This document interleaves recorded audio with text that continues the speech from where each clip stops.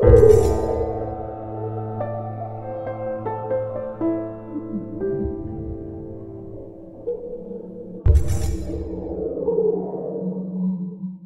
Isabel, as I say, started off as Cat 5, but she went down very suddenly to a Category 2 just 24 hours before landfall. And this was not very well predicted. Uh, and matter of fact, when Hurricane Isabel spun down, the diameter of the storm expanded greatly. So it was kind of a collapse of the vortex. And uh, although this was good that the wind speed went down, the winds, the strong winds were projected over a much broader area. And that's why so many in the mid-Atlantic lost power from this enormous storm as it went up through Virginia and Maryland.